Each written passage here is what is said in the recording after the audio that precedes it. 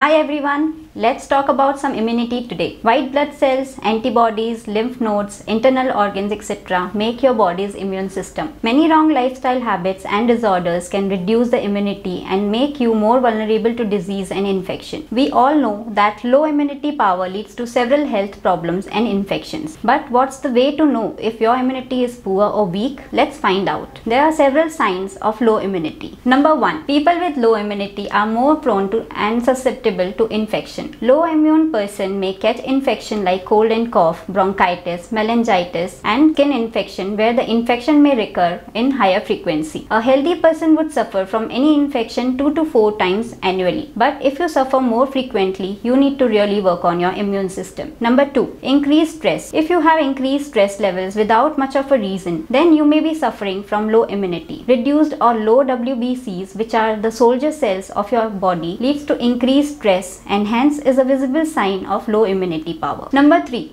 if your wounds don't heal easily and take longer time to heal. Immune cells have a vital role in wound healing. So if your wound healing takes more time, then it's time for you to work on your immunity again. Number 4. If you have more gastric and digestive troubles like diarrhea, flatulence or constipation, this may be a sign of low immunity. These disorders may be due to inefficacy of your gut bacteria which protects your digestive system from infections. These bacteria in your gut is the first line of protection and if that's not corrected, you will be prone of getting infections. This can be easily improved by taking more probiotics and healthier food. Number 5. If you get tired very easily and very soon, then that is also a sign of low stamina and low immunity. Number 6. Your skin is itchy, dry and scaly. Your skin is the first line of defense and if your skin is not healthy, you are prone to catching more diseases and infections. Number 7 is age. Elderly people who are more than 60 years of age over all the reasons, age is an important factor which affect the immunity power of a person. Elderly people who are more than 60 years of age or infants, toddlers and children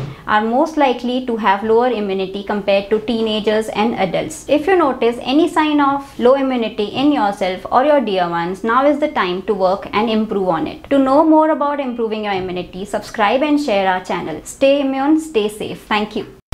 For more health related videos, like, share and subscribe to Hello Healthy.